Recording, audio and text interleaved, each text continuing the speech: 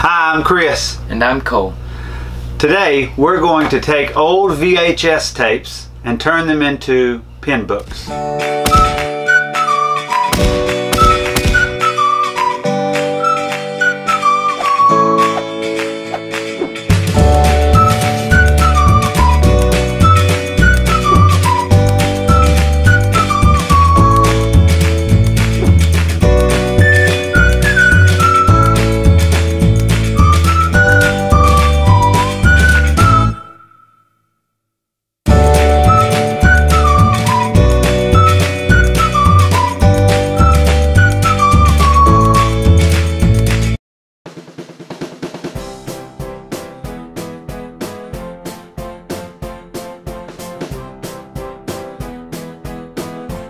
Now what I did, you can do this also, is I was at a resale shop and I bought this, what I would say is terribly ugly purse.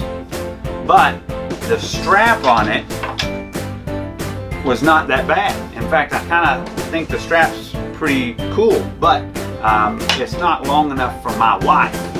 Uh, but it is long enough for my little girl. So what I would do is take this and I measured it as to how long I needed it off of this purse. So I had this on um, Tammy and we measured it and it needed to be the width of this chain plus for me, for her, it needed to be on each side four fingers extra. We go by real uh, firm measurements here. So four closed fingers extra and then I added about an inch, which is right there. And so then I take this and I cut it just like that. It's real easy to cut with a uh, pair of pliers. So once that's cut, just don't lose your little metal shards, otherwise they're going to end up in somebody's foot.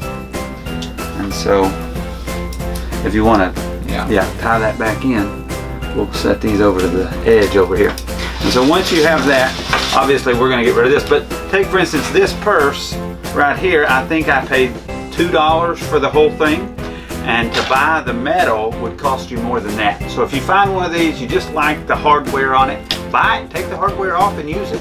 Uh, it could save you some money. Uh, that's what we're going to do with that for Allison as a matter of fact.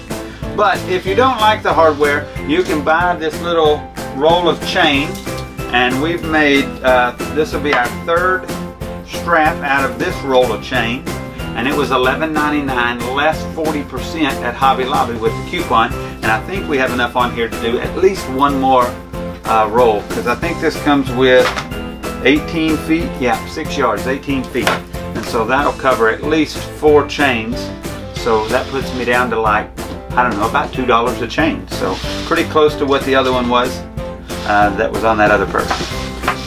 Now, a couple things you're going to want to do is you're going to want to choose which one of these uh, chain uh, connectors you're going to want to use.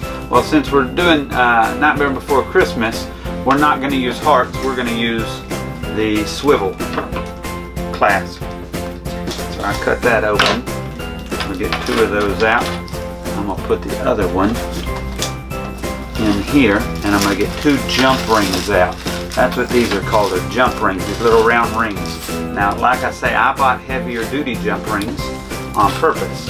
Uh, but now we're done with that. And I'm going to need this and my Leatherman. And so we're going to take these two and we're going to open our jump rings with them. And so how you do that, I don't know if you can see this very well, I'll clear the table, maybe you can get a better view. But you look on your jump ring and you'll find that there's a, there's a split in one spot where they made that complete circle. And so you put one pair of pliers with the needle nose pliers on one side of the jump ring and then the other pair of needle nose pliers on the other side of the jump ring. And so when you have those like that, then you're going to move those two away from each other about 45 degrees. And what that does is that opens that jump ring up just like that. I'll hold it out there so y'all can see it there.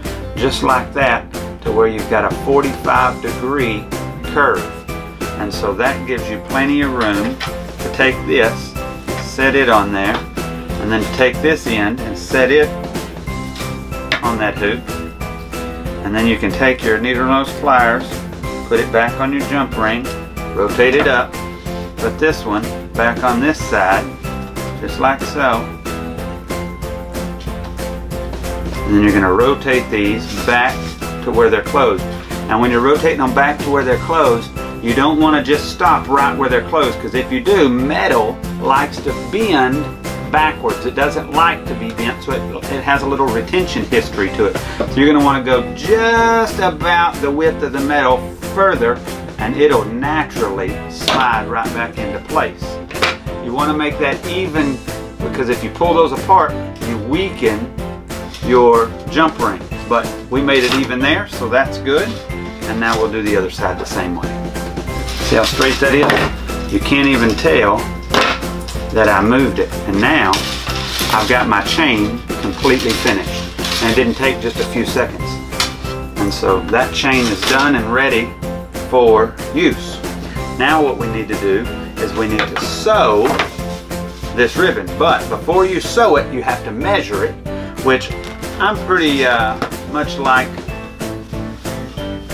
with measuring my chain, I'll measure this. So I'll set my, let me cut a clean edge here. So we'll cut a clean edge on one end, just like so. When you get it halfway straight, which that's not, you get it halfway straight, like that, then you take and you heat seal the end and that keeps it from coming apart real bad on you. Terrible with ribbon Cole. Hmm. But this will never be seen, so it's not that big of a deal. So I heat seal the end, make sure it's not going to stick to my table. I'm going to put this down. I'm going to find this side and I'm going to cut about the same width overage like this.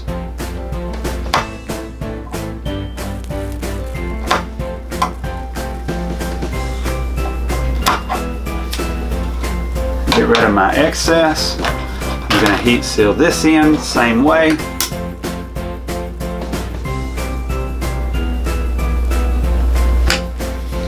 Then that that's heat sealed, it won't fray on me. I'm going to take this, I'm going to open it up and I'm going to put a pair of pliers here to hold that side down and a pair of scissors to hold this side down. I'm going to lay this in the middle and I'm going to find what I think is pretty close to the dead center.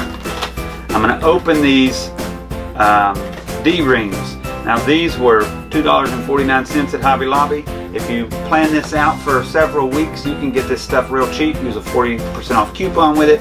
I think it was $1.50. And so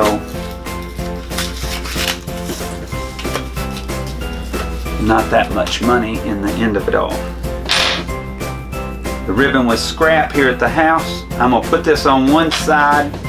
Um, make sure that I'm folding inward to the top with my ribbon. To put this on the other. And I'm going to try and find a centerpiece. Now the reason I fold it inward is I want them to be consistently about the same just so they look right because you're going to see the stitching. With this black, not so much, but with everything else you will. So I notice I want my D-ring to set just outside the VHS because you don't want it to damage it. But I'm a little long, like about a quarter of an inch. What you're going to want to do is put a little tension on your ribbon. And the reason you're wanting a little bit of tension is you want what it's going to be like whenever you've got that chain attached and all them heavy pins in there. So once you figure that out like I just did here, I'm going to hold one finger there, I'm going to lift it, and then now then that I know exactly where I want that, I'm going to take one of these straight pins and I'm going to pin it because I don't want it getting off. Now if I didn't know how to sew or I didn't have a wife that knew how to sew, then I would probably, at this point, after pinning these two, I would glue them. And we use a Gorilla um, hot glue, which holds better than most hot glues. But since my wife knows how to sew, I'm going to have her sew it because it gives it a lot more strength. So now then that that side is done, I'll pull this side out to get right where I want it with the tension. I'll put my finger there, I'll lift it up, and I will pin this side the same way, just pinning it.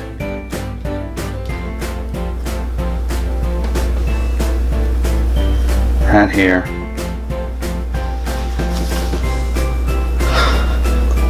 Like that. So now both my sides are pinned. When it gets sewn, it'll look just like that. You'll be able to close this and I'll have those rings right here on the outside like this. And so you'll be able to clip and it'll carry just like a little purse.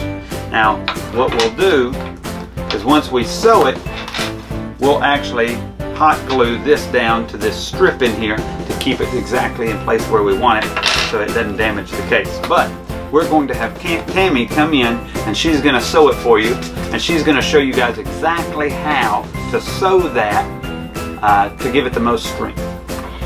Hi guys, okay so uh, I'm going to sew this and the first thing I'm going to do is I'm going to sew directly across right where the pin was just so that I lock my spot in place and I'm just going to sew a straight line across.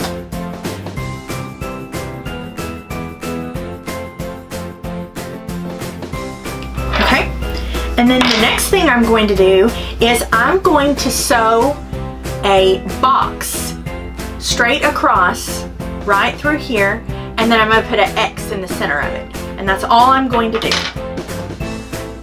And that's going to give it a lot of strength and stability I like to come down and sew my bottom piece straight across first uh, that way that it, it keeps my ribbon in place and it doesn't move so that my ribbon is evenly across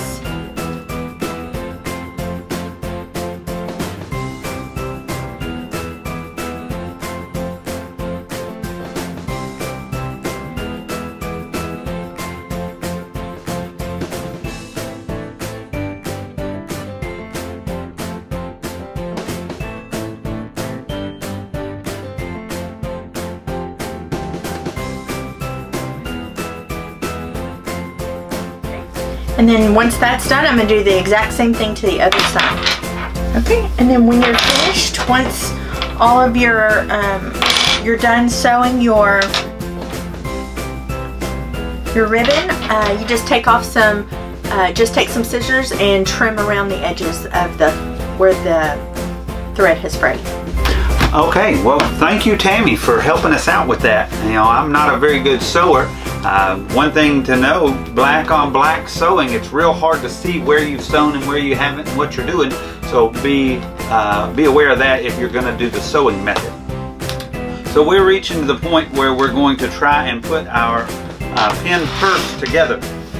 and what, we'll, what you're going to want to do is take this uh, where she's sewn or you've hot glued and you're going to want to glue the part where it's uh, your excess was sewn down, you're going to want to glue that down. So we'll flip that over.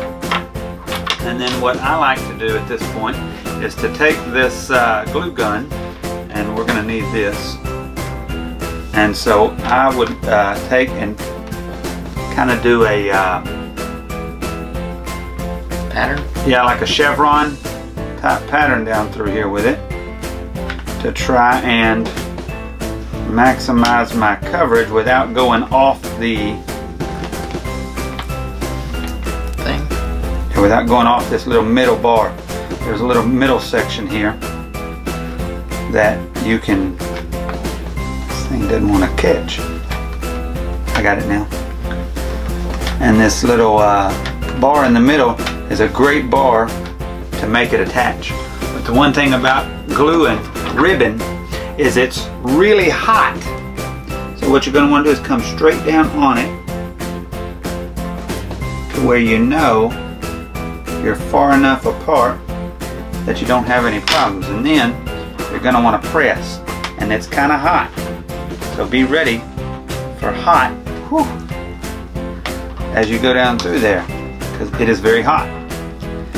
Press that down. Don't be afraid to make that middle section crush. That's why you wanted to make sure that you actually had one that was not going to crack out that was like dry rotted or something. So as I come down through here you can see I'm pressing pretty firmly to make sure and then I'm running it across all the way. So I've flattened it out the best I possibly can. So what that'll do is allow me to have my stuff shut and hold and it be as thin as possible because ultimately you're going to want it to be able to shut just like that. You're going to want this to be out there just like this so that you can attach your purse straps. You could just call it a pin bag strap just like so. And so there is your pin bag purse all built. You can stop before the, the straps and all the extra if you're uh, like me and you want to have one but you just want it to be in your backpack. But right there is your purse all made up. You want to model it for everybody? What? Okay. Uh, so let's take a look. I'll push a pin in and you guys can see just how it works. So we've got a pin. You register and we give this away and you're the winner, the pin does not come with it. But you push the pin in, and there you go. As easy as that. Put it together, shut, and you're ready to go. Now I will give this, if it gets too many pins and they're too thick, what'll happen is, is it won't want to shut if there's too many pins and it gets too thick. In other words, your pins are thick. So mainly for single width pins, if there are multiple layers on the pins, it's going to make it wider and it's not going to want to shut as easy. And so what you'll have to do in that case is not put pins on one side or not build to one side. But as long as you've just got standard pins, this works great. Um, like I say, about 30 or so pins. So what we'd like to know is uh, whether you guys, when you build these, if you like them, if you enjoyed it and it was easy enough to build, please like, uh, uh, tell us that in the comments. Um, like, comment, and subscribe if you like the video. And if you want to either see the, uh, what's it called, the PF, The PDF. yeah. Yeah, if you want the PDF um, of the drawings for the inside so you can make your own stencils. Or if you just want to do the, um, or if you want to enter into the contest, go to www.managingmickey.com. That's right, and find the contest page and you'll be able to find the email to email us so we can enter your name uh, in the contest. Until next time, from our house to yours.